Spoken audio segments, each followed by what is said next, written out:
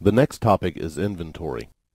Sage 50 Accounting's inventory functionality tracks the products and services that your company buys and sells. As inventory-related transactions are posted to the general ledger, the quantities and cost of goods amounts for stock and assembly items are updated. Sometimes it may be necessary to adjust inventory levels so that they agree with the physical count. Inventory adjustments can be used to accomplish this. Inventory adjustments can also be used to reduce the stock of items that were used for a job. To enter an inventory adjustment, select Inventory Adjustments from the Inventory and Services Navigation Center. On the Inventory Adjustment window, select the item to adjust, enter a reference number and a date, and select a General Ledger account in the GL Source Account field. Inventory adjustments affect the inventory account and the account entered into this field. To increase the quantity on hand of an item, enter a positive number into the Adjust Quantity By field, and then enter the unit cost of each item in the Unit Cost field.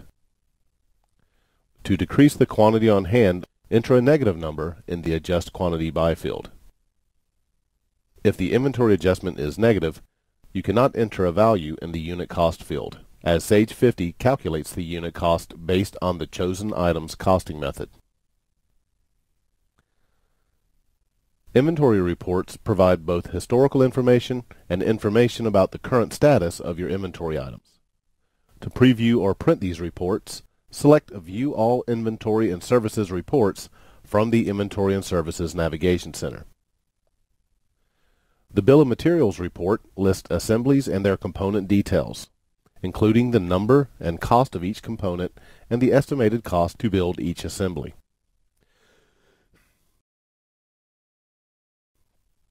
The Cost of Goods Sold journal lists the total cost for each item sold at the time of the sale and the accounts that were debited or credited. This report can be used to verify that the general ledger postings for cost of goods sold and inventory accounts for sales transactions are correct. The Inventory Profitability Report lists each stock and assembly item and their units sold, their costs, gross profit, and gross profit percentage for the selected date range.